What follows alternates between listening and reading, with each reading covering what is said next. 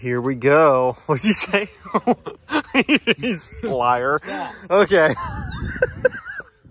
Dude, you were like in, you were like halfway through saying something that was gonna sound very wrong, and then you're like, Well, then you saw, context. and then, then you saw the phone, and you're like, I should probably like unsay the other half of what I'm about to say. Yeah, so we've got the dually here. Thing is freaking peaches thick, right? Oh my gosh, dude. It's bodacious, bro. Thing is sick. So, we're going to be taking some photos, some videos. We're going to be making this thing look extra, extra good here. Getting it some photos, some publicity for the old internet. Look how beautiful this thing is. Five speed, 12 valve Cummins, second gen. Ah, it's the perfect combination. It's the most iconic year of Dodge. It's the 12 valve, the most desirable diesel ever built. It's the five speed, the most desirable transmission from them. It's a four wheel drive model. And now it's looking like a total Bubba truck. We got literally the fat meats on the stocks and they completely lock with just a hair of room to spare. Even though that Isn't that moron, crazy, you know, because it couldn't fit. It's impossible. it's impossible. It's never gonna happen. You're never going to be able to put those on that truck. You'll never be able to turn the tires, even with a spacer. They're going to rub all over each other as soon as you put them on, and you're going to have to get new tires right away. Um, there's all that rubbing all over each other right there. He said with no load too. He just said it doesn't matter if you're never going to tow with it. It'll never fit. That's what you call a Needless to say. moron. Buddy, the guy was wrong. He's like, I would know. I've been in tire business for 20 years. Would you? Really? Really? Well, you must not have done everything then in those 20 years. There's always something you don't know. That's something you got to learn, people. There's always somebody that knows something that has done something that you have not yet done. And in this case, he's never actually built a cool truck.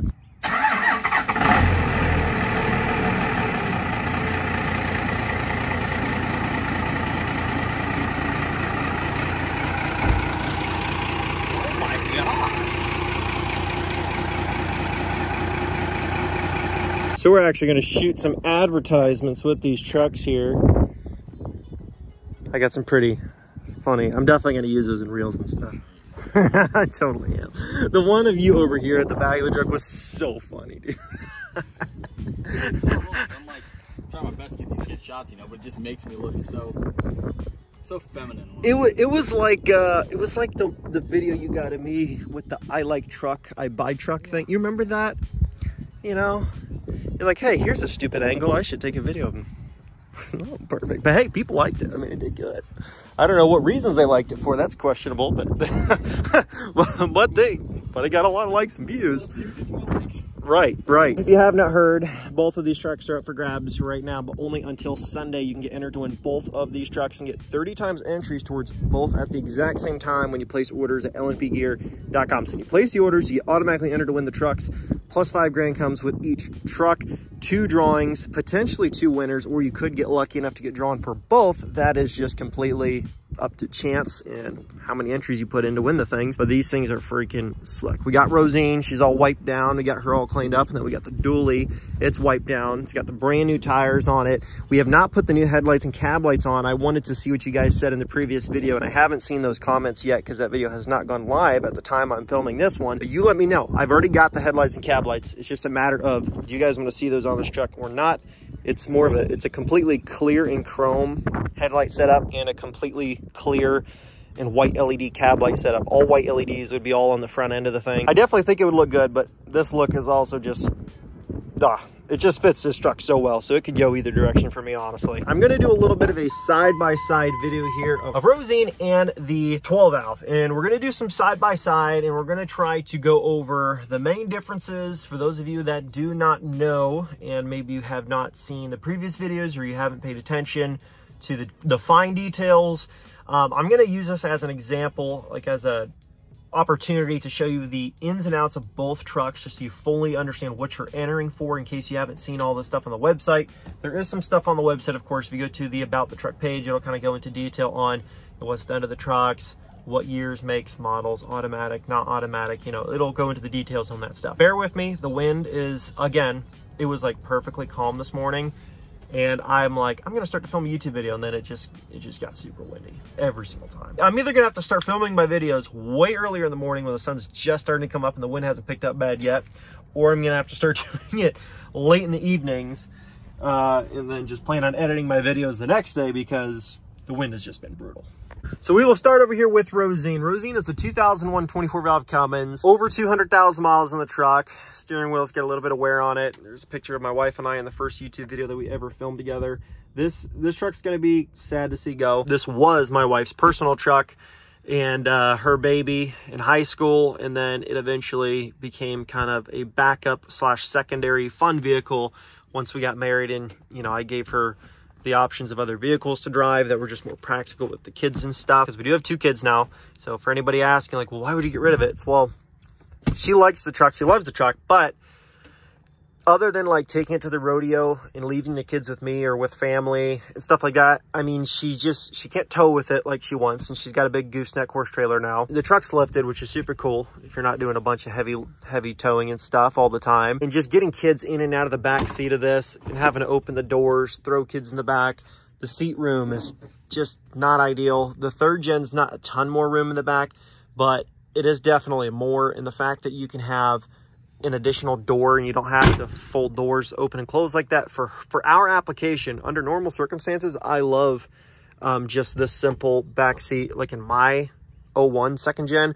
Um, but for her with the babies it's just not something she really was too fond of. And she wants to be able to use her truck with the kiddos when she's going to the horse shows and doing stuff and not feel like she has to take a different vehicle because she can't take the kids with her if she's in her truck um, because both of our kids are currently in car seats and we're probably going to be dealing with car seats for several years still. So it's just something where she hates seeing it sit. And that's that's the reason for wanting to get rid of it. Stock rebuilt transmission on this truck. The only power mods that it has is an edge tuner from probably like 2017. Uh, so not not like anything crazy. Maybe it might even be older than that. I'm not sure. But no big no big injectors, no big turbo, no none of that stuff on it. The only thing she does have in terms of aftermarket to assist with fuel pressure is a FASS fuel system with a sump. That way she does not run the thing out of fuel unless it is literally on zero because it's a sump with like a webbed system at the bottom of the fuel tank. So it maintains really good fuel pressure and it's always got fuel until it is literally out. And this is a 24 valve Cummins. Great truck, plenty of power even on the lift with the 35s. And the set fully locks on this truck, not a problem at all. And again, it's a head turner. People love it. She likes the truck. She loves the truck. There's nothing about the truck she does not like about it in terms of style and stuff like that. But just with the kids, it's just not something she wants to park in the barn and just have a truck she can't use all the time. She wants to be able to use it, drive it, take the kids into the car seats. And that's just the big stressing point um, with this truck and the wife's new needs with her current stage in life. But over here we have a 1997 12 valve Cummins, and this is a five speed manual transmission. He did say that it was a stock replacement clutch. Fifth gear nut was fixed on this thing. And that's got 35 by 1250s, 20 inch Anthem wheels, 20 by 12s. And then on this truck, we've got 305 70 R16 Nitto Ridge Grapplers in my honest opinion, one of the best of the best in terms of an all-terrain and aggressive sidewall tire for a truck like this, for that stock suspension, beefy look. We're rocking stock second-gen dually wheels. They're the 16s. It is a 3500, of course, with the dually. Gonna pull the key out here. And this truck has only got a whopping 99,370 miles on it. It is a very low mileage truck and the thing runs amazing. Shifts through the gears beautifully. Um, like I said, the fifth gear nut was fixed on this thing. It's got an old school aftermarket Sony radio with DVD in there and everything works. The DVD, the aux connection, the radio, the speakers, everything in the doors, it all works. Um, and then other than that, the interior is stock. I mean, headliner's in really good shape other than a couple tiny crinkles in that one corner. But that's it. No drooping headliner, nothing like that. No cracks in the dash. And yes, this is the factory dash. It's got no cracks whatsoever. It is in great, great condition. Um, all the cup holders, the outlets, everything, everything on this truck works the way that it's supposed to. Same for Rosine, other than the fact that the dash is not original. It is a replacement, and so is the bezel on that truck. This is all still original with no cracks. The switches work, mirrors work, the power functions work. Four-wheel drive, and I did lock it up the other day. It does work also. Beautiful truck, but yeah, 12-valve, five-speed truck.